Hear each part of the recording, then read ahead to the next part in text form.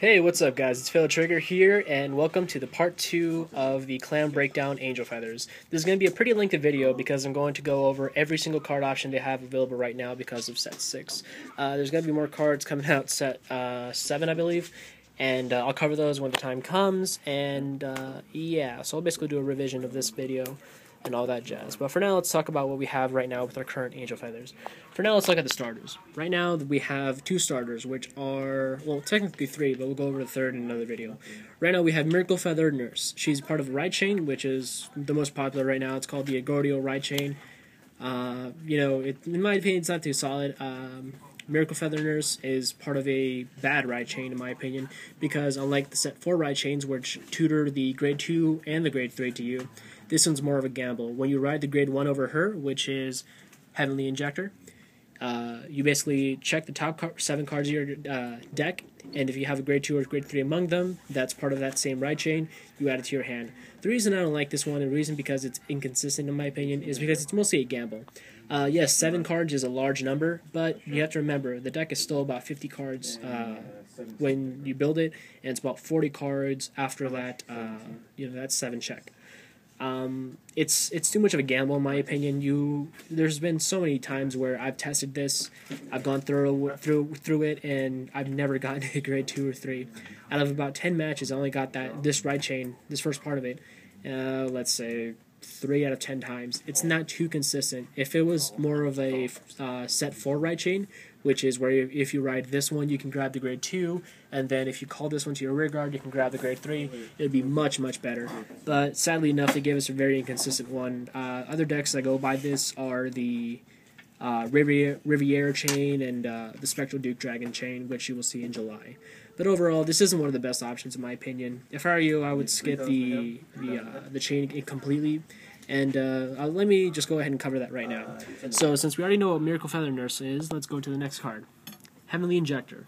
Uh, basically, Heavenly Injector, when you have Miracle Feather Nurse under her, she's an AK at uh, Vanguard. Not too bad. It helps you be a little bit more defensive. Uh, and then when uh, and then when you ride Fate Healer Ergodio over Heavenly Injector, you do, you do the following. Uh, you pick one card from your damage and one card from your hand, and you swap them. So it's a mini Nociel for those of you who are familiar with it. It's okay, but it's too early of a game to go ahead and swap because think of it.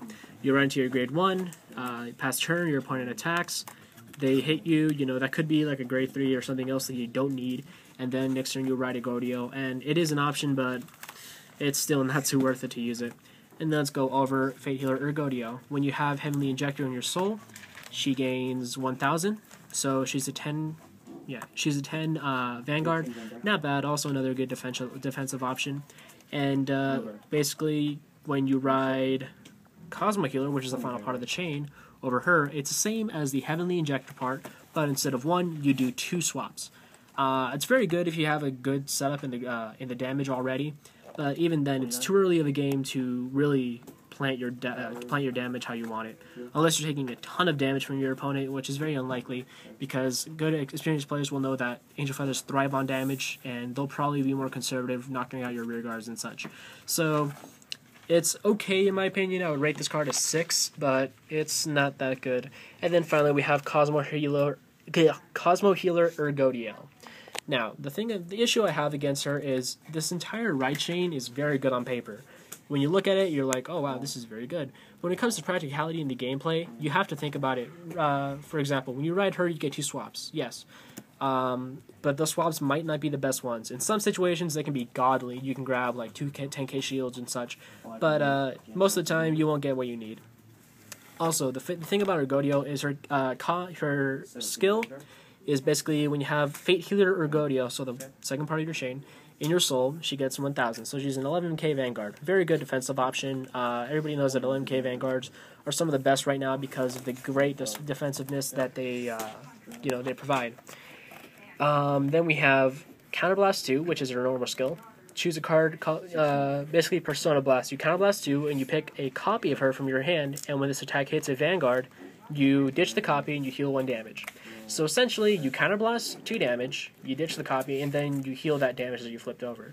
So, uh, in layman's terms, the skill is basically a counterblast one, ditch one.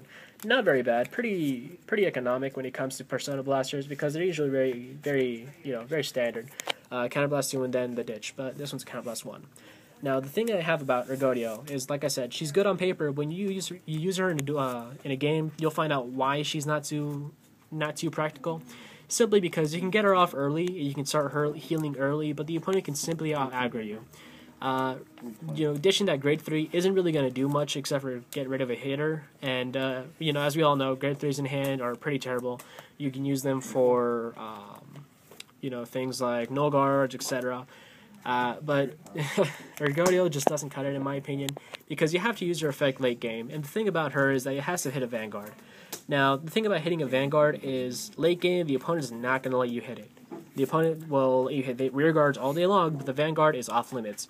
So getting this effect off, you know, early game when your opponent, I mean late game when your opponent's like four damage, it's very tough. If your opponent's healing a lot, it can help you out, but in most cases, the opponent will be at four to five damage, and it'll be very tough to get that hit in so you can heal and keep yourself alive. The deck is a good concept, but it just doesn't have the tools it needs to make it effective. For example, the deck would need more heal triggers. Uh, it would need more defensive options. It would need a better way to grab those grade threes. Uh, like I said, when this deck first came out, I've been t- toying around with it. I tried using Thermometer Angel to grab more Ergodios and skip the ride chain completely. Uh, I've tried the ride chain. It's just, it doesn't work. Um, you know, there's so many people that are like, oh, it works, you can use Kiriel. The thing about it is, when I tested this deck, I ran Kiriel along with it, and the problem is, Kiriel, they're both designated Vanguard grade 3s, which is a huge issue. But uh, you know, most of the games I end up winning because of Kiriel. So instead, I switched over to the Kiriel build, which is way more consistent and does what Angel Feathers need to do.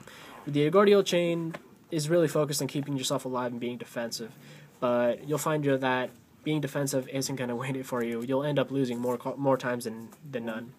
Uh, so let's go over more cards. Um, then we have our second starter, Thermometer Angel. If the camera will focus. Da, da, da. There we go.